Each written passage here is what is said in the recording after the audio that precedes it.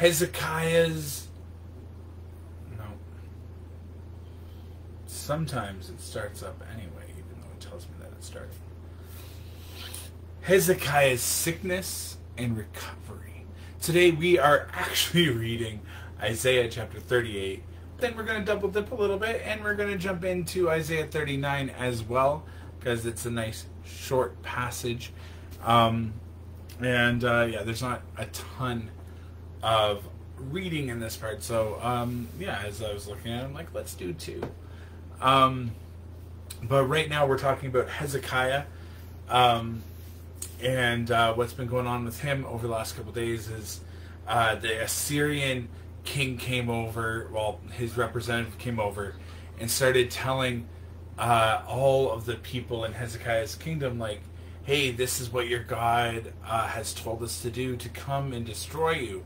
So, if you just kind of give in to our demands, we'll give you some chariots and stuff like that, and then you will uh, be our possession and no longer your gods. Um, and then used a bunch of really fine words, twisting their history, appealing to their fears, appealing to their strengths, appealing to um, their faith and challenging their loyalty to God um, all along the way. And uh, the people, like he, he attacked their hearts, their spirits.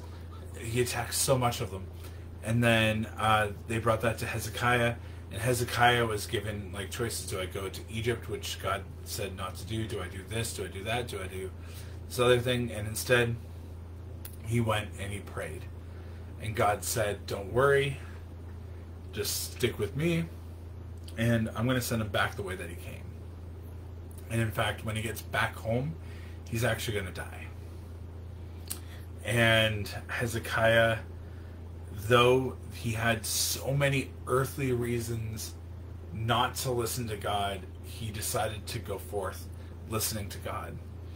And sure enough, um, there was another attack that actually ended up bringing uh, word. Word got brought to the Assyrian king, and he had to turn around on the very road that he uh, came down in order to go back home. And then once he was home, uh, and everything was kind of dealt with there. His sons, two of his sons, ended up stabbing him, killing him, and then one of his other sons ended up taking the throne. So that's a little bit about uh, kind of what was going on up to this point. And if you're feeling like, hey, uh, this story is kind of interesting, I want to know more, or kind of sounds familiar, it's also uh, been covered in Second Kings uh, starting in um, chapter 18. Uh, Second Kings 18 is the other place that it's covered, but we're reading the accounts of the story from Isaiah chapter 38. If you don't have a physical Bible, I'd love to hook you up with one. Uh, load up the Bible Gateway app or the Bible app. I'm reading out of the New Living Translation. Going take another sip of coffee, and then we're going to jump into Isaiah chapter 38. Hezekiah's sickness and recovery. And then we'll pause and then uh, break down some stuff that might have jumped up from there and then go into 39. We good? We good. Let's go. Hezekiah's sickness and recovery. About that time, Hezekiah became deathly ill, and the prophet Isaiah, son of Amos, went to visit him. He gave the king this message. This is what the Lord Lord says, Set your affairs in order, for you are going to die. You will not recover from this illness.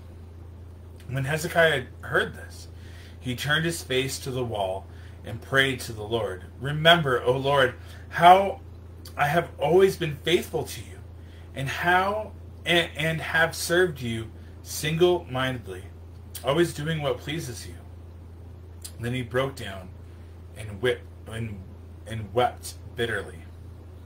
Then this message came to Isaiah from the Lord Go back to Hezekiah and tell him, This is what the Lord says The God of your ancestors, David says, I have heard your prayer and seen your tears. I will add 15 years to your life, and I will rescue you and this city from the king of Assyria. Yes, I will defend this city. And this is the sign from the Lord to prove that he will do as he promised. I will cause the sun's shadow to move ten steps backward on the sundial of Ahaz. So the shadow on the sundial moved backward ten steps. Hezekiah's poem of praise. When King Hezekiah was well again, he wrote this poem. I said, In the prime of my life, must I now enter the place of the dead? Am I to be robbed of the rest of my years? I said, Never again will I see the Lord God while still in the land of the living. Never again will I see my friends or be with those who live in this world. My life has been blown away like a shepherd's tent in a storm. It has been cut short, as when a weaver cuts cloth from a loom. Suddenly, my life was over. I waited patiently all night, but I was torn apart as though by lions. Suddenly, my life was over.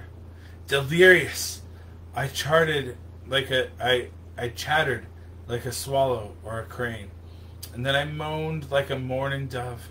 My eyes grew tired of looking to heaven for help. I am in trouble, Lord. Help me. But what could I say? For he himself sent this sickness. Now I will walk humbly throughout my years because of this anguish I have felt. Lord, your disciple is good, for it leads to life and health. You restore my health and allow me to live. Yes, this anguish was good for me. You have rescued me from death and forgiven all my sins. For the dead cannot praise you. They cannot raise their voices in praise. Those who go down to the grave can no longer hope in your faithfulness. Only the living can praise you as I do today. Each generation tells of your faithfulness to the next. Think of it. The Lord is all is ready to heal me. I will sing his praise with instruments every day of my life in the temple of the Lord. Isaiah had said to Hezekiah's servants, Make an ointment from figs and spread it over the boil, and Hezekiah will recover. And Hezekiah had asked, What sign will prove that I will go to the temple of the Lord? Uh, may God add a blessing to the reading of Isaiah chapter 38. Uh, so, yeah, we're going to pause there for a second. Um, yeah, and I remember a lot of this too from um, um, Second Kings. But yeah, we have you know this great victory and everything, um, and we have one of the few good kings uh, in Israel, and he gets really sick, and God's like, "Cool, I'm going to call you home," and Hezekiah says, "Please, not yet." I really like and just pleads with God uh, to save him. And God goes, cool. You know what? I'll give you 15 more years. Um, but he was on death's door and he knew that death was going to come and he was missing things and he was fearing things. And as I was reading this, I'm like, does Hezekiah understand what heaven is? Is this a concept that has wrapped around his head? It's something that Jesus kind of talks about about our life in the next type deal uh, and everlasting life with him. But is this something that was widely understood, at least by King Hezekiah? Is a question that I had that came out from that. Um, and one of the other things that this also reminds me of is there's a lot of things in life that um, it's really easy to miss. I didn't know I, I forgot what this chapter was going to be about, uh, and I'm reading. I'm I'm wearing this hat right now, which is overcome, and then there's uh, I gotta turn my head weird because uh, it's all reversed on the camera. This uh, it means overcome suicide is kind of what this thing is. There's you know um, shorthand for suicide in uh, some online forums and communities and stuff. So it's like overcome suicide is the hat.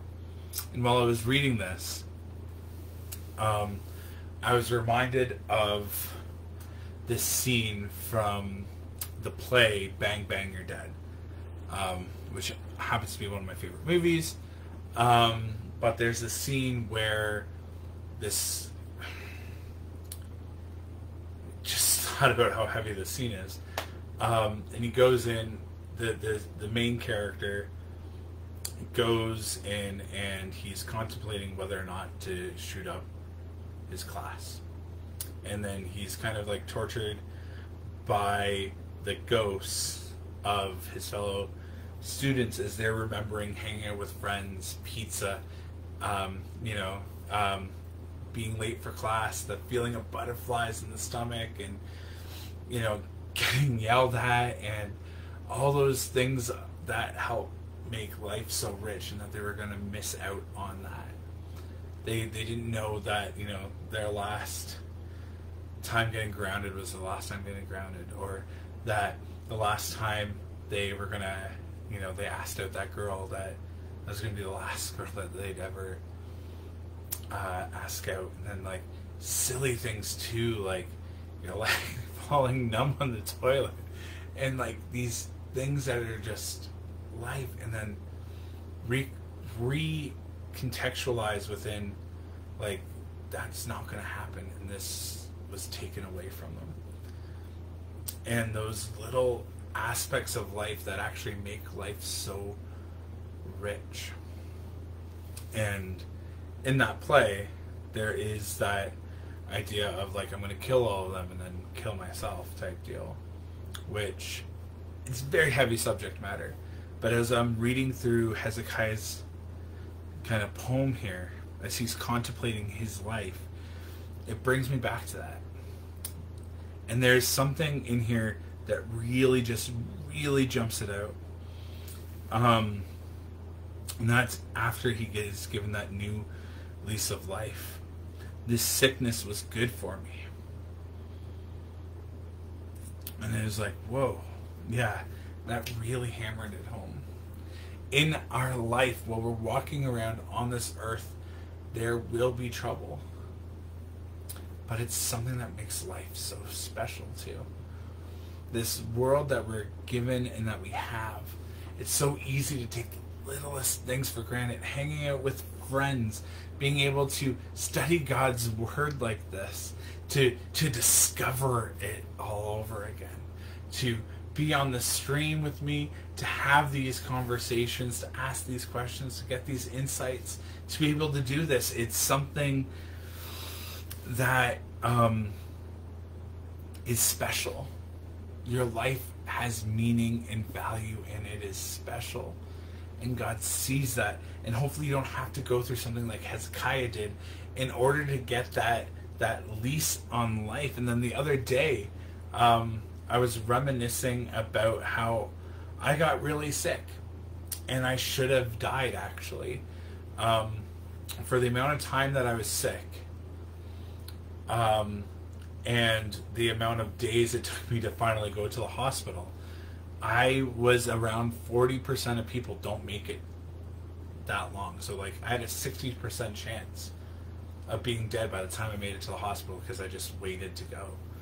Um, and I had a, a, little bit of a lease on life and a way to be like, okay, you know, I can see these things in life that have value and have meaning and have purpose, even though they're uncomfortable and they aren't the best. Um, you know, but it's life, and it's the life that God has given me. You might be frustrated with where your life is. You might be comparing your life to someone else's and just be like, I want what they have. But you have been given this special gift to be in the family that you're in, to be in the situation that you're in, to be in the location that you're in. And yes, times might be tough. And we can lean on God to help us to get through those times.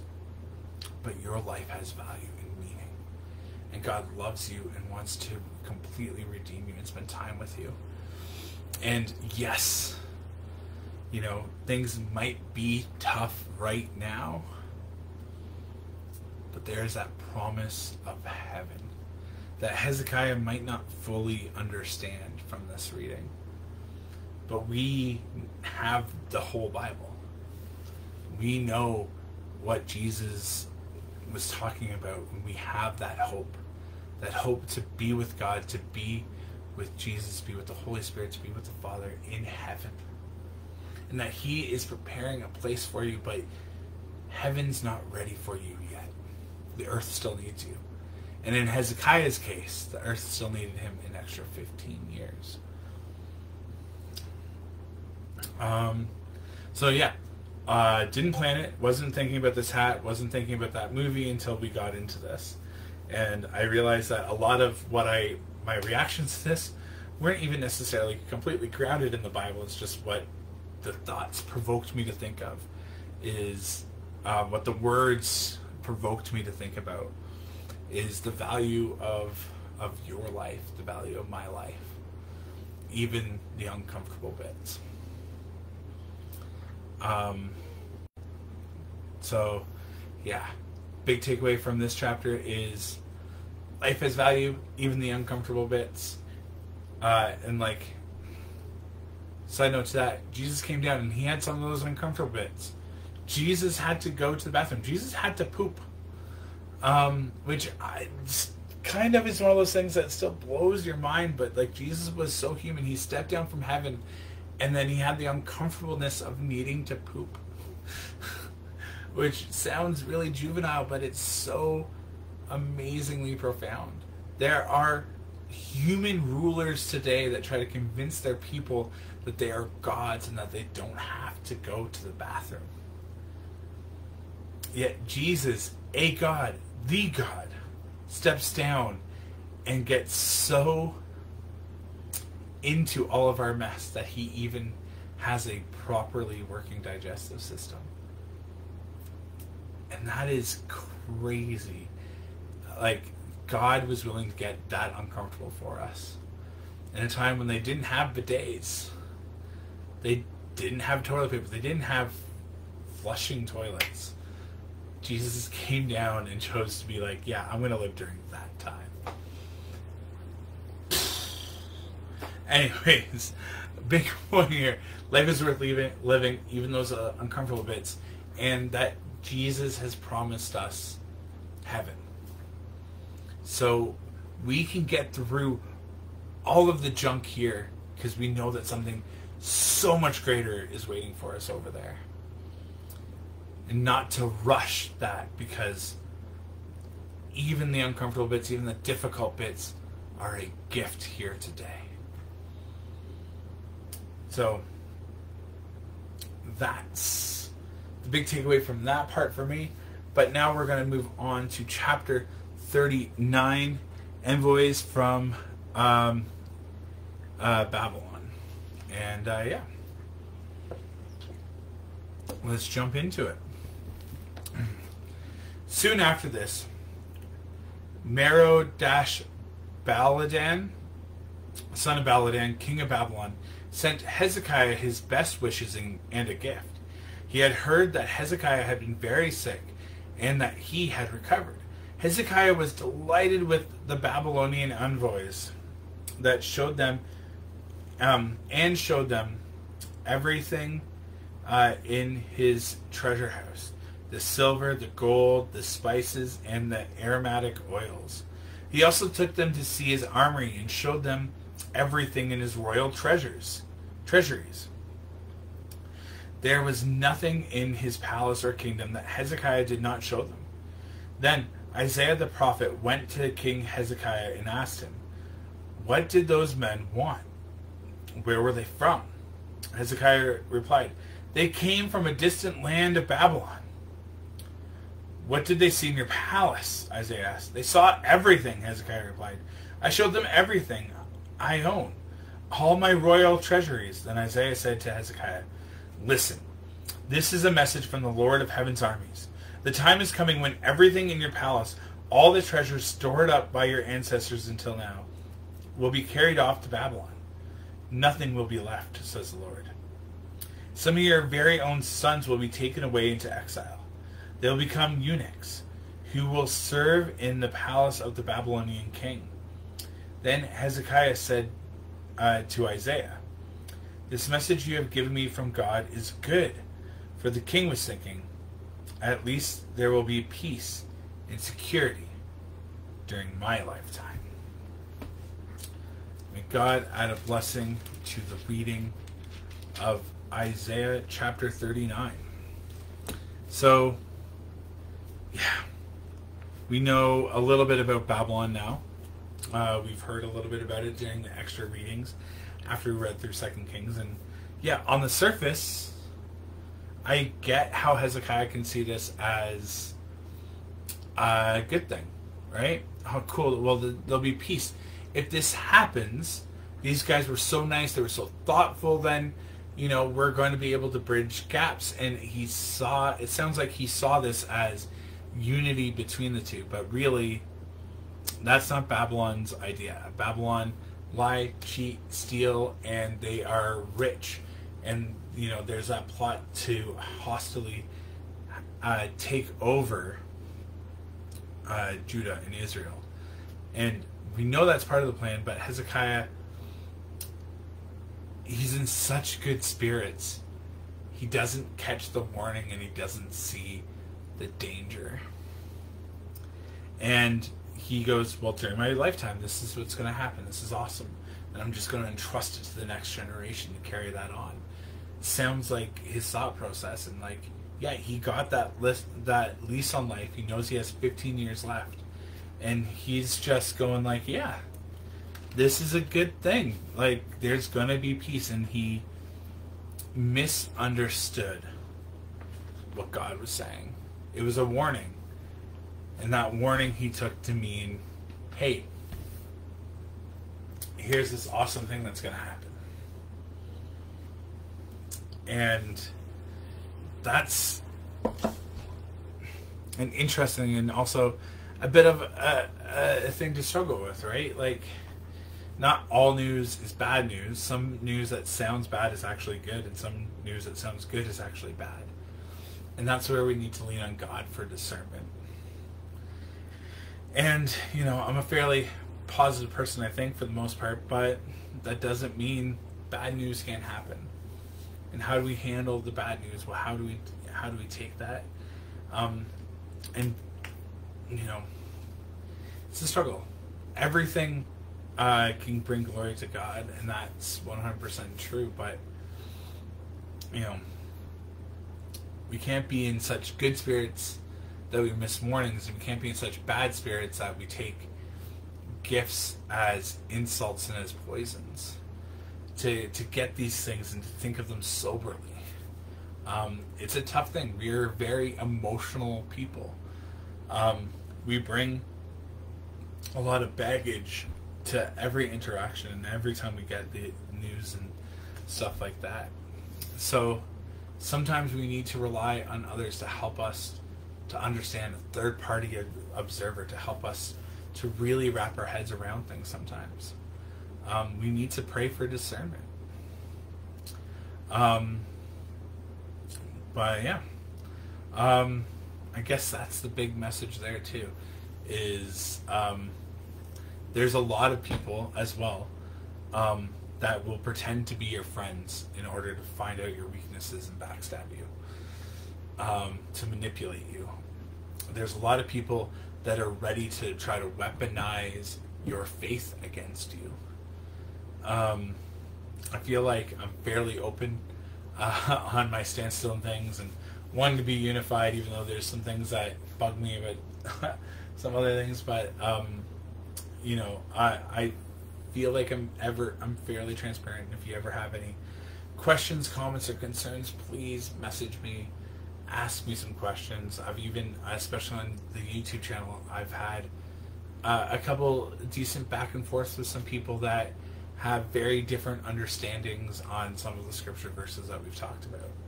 Um, and that's good to have that diversity of understanding, I think, is really important. Um, so, with that, though, um, yeah, to, to have discernment not just on the news that we get, but on who we're sharing it with. discernment on who is speaking into our lives, who we're sharing ourselves with. Um, since I, you know, I was talking about other media before, uh, this also reminds me of relationships. There's a great song from Andy Mineo that says, "Be careful who you make memories with." Um, so, from a relational standpoint, it's like you know, don't start just dating anybody and everybody who, you know, shoots you a nice smile, and you know, take things too far. Be careful who you make those memories with. But also, just kind of be careful with who speaks into your life, who you're willing to go on these grand adventure with, and trust your life and your memory to. It's valuable. Um, yeah. Uh, so with all of that, let's pray. AJC, awesome. Jesus Christ, thank you for chapter 38 and 39 of Isaiah. I thank you for that reminder that life, even those tough times, have value and that there is that promise of being in heaven with you and that you are preparing a house for us. And I, Lord, I pray that you can help us to trust that, to ha- be farsighted and see those great things, and to be able to give us the strength to withstand what's going on here today. Knowing that tomorrow in heaven will come, but give us the strength to make it through today and the eyes to see the privilege of everything that we have today.